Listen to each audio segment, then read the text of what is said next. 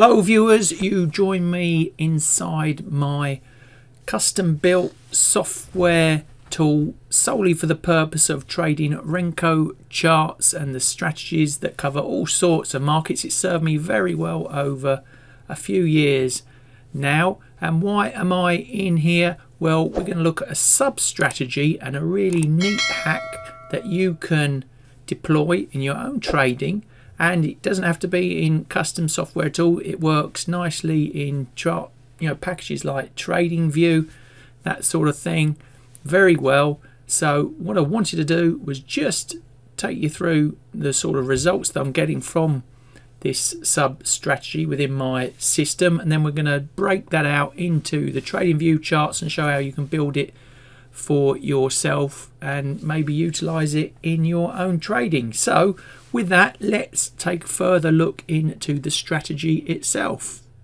So if we navigate our way into the system, and you will firstly notice I've got pages and pages of different markets that I look at.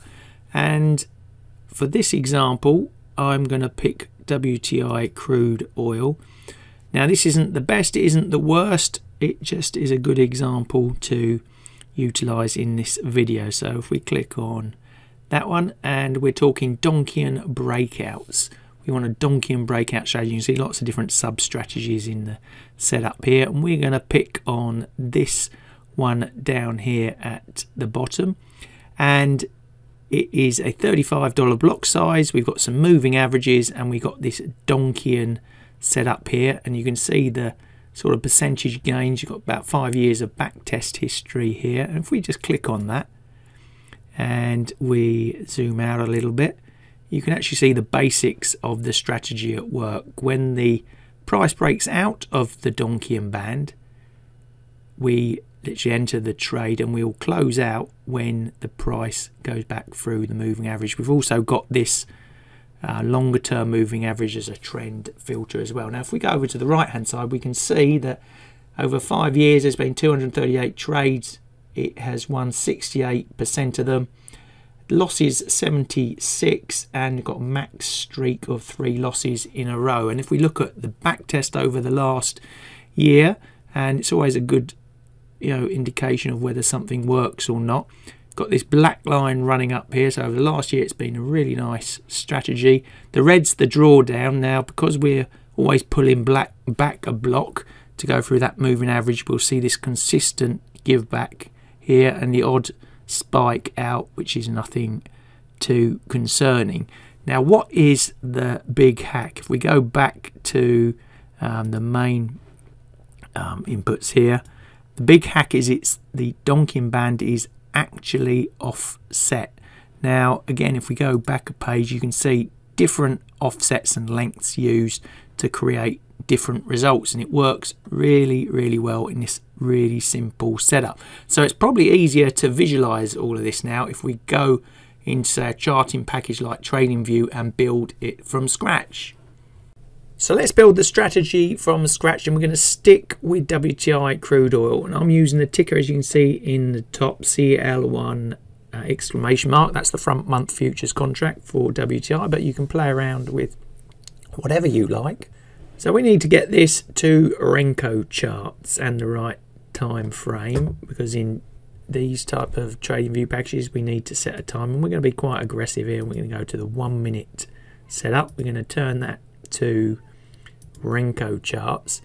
We don't need the volume at the bottom so we'll delete that.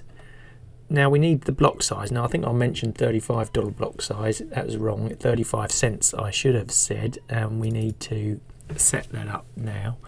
So we're going to stick with traditional and we are going to go for 0.35. That's what I've back tested and was using at that period. But if you're interested in learning how to set the block size, at the end of this video I'm going to do a link to a playlist on my channel that's all about Renko charts and that answers all your Renko questions. We don't need to go into it in this video. And really, you know, it is a, a separate topic itself. You want to get good at Renko, master the block size. My number one Renko tip. So we got the basic chart here now, similar to my system. And what did we have on there? Well, we had really just two moving averages and the Donchian band. So I've now added on all the indicators that we need. Now my suggestion here is play around. Remember from my system that I had various different lengths of Donchian bands, different moving averages to get you know different results, get you in faster, slower trades. Now if we just look at the inputs here, the first one, top left, we've got the Donchian offset. Now if we go to the settings, called Donchian offset, got this set as 10, 5. That's the crucial bit of this strategy, the 5 offset. That creates, like we can see here, the breakout of the price outside of those bands. And you want to find the Donchian offset, just go up to indicators, type in Donchian offset, and it will bring it up. And you click it on. And like I said, if we go back again uh, to those settings, I've used 10, 5. You can change the colors, whatever you like to. But now we've got that, we've got the two moving averages. Now the white one, we click on that, is set to 5. And the yellow one just standard moving averages, simple moving averages, length of 50.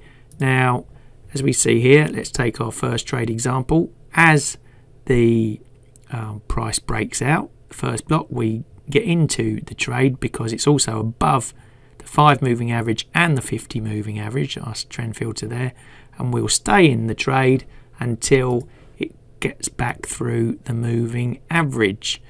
And that really is it. It's as simple as that. So we use the yellow and the white as trend filters. More importantly, the yellow, the bands offset for the breakout, and we action the trades. And yeah, you might get some false breakouts. Let's have a look at this example here.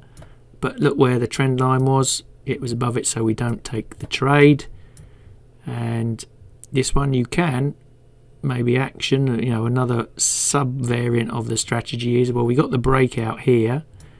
Um, it wasn't below the yellow line, but we could enter it also as it did break, and we'd get a small trade, a few blocks, and close out as it goes back in. So there's some sub variants that you can use, but this, like I said, is set to an aggressive one minute chart. You can slow it down 30 minutes, one hour, four hours, even daily um, going to give you different results. Or if your package doesn't incorporate time that's all well and good as well because that's as pure as it gets in terms of Renko.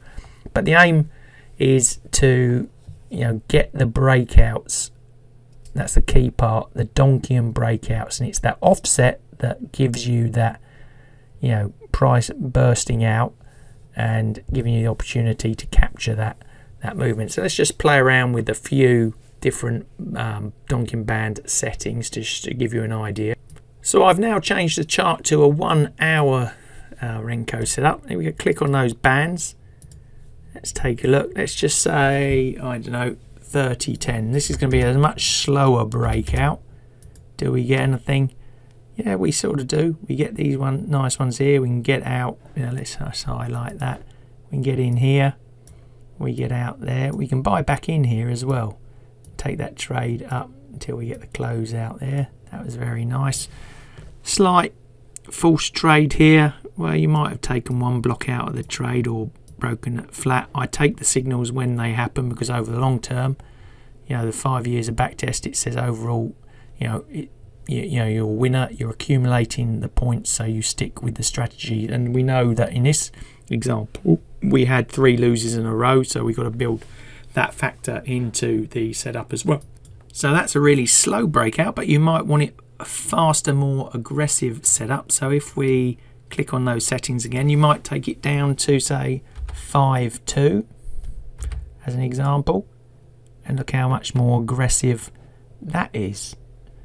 Like I said, play around with the numbers. You might try, you know, another sort of setup, maybe 3, 3 to give you an idea you know, all sorts of different numbers. But that example used for my system was on the 10.5 and it gives me enough to play with in addition to my other strategies to give me another angle in on what's going on, you know, across different markets. Um, it's a powerful setup hack. You know, that slight offset, like I said, that's the key to this strategy.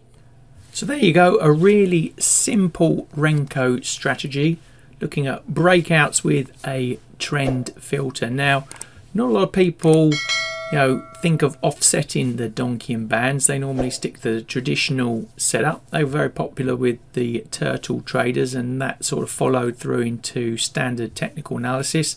If you look at that offset, you can do the same with Bollinger Bands. I've got other videos on that. You know, it can become a powerful breakout strategy. My tips are though, get the right block sizes, back test, don't back fit, back test the information on the different markets that you're going to trade.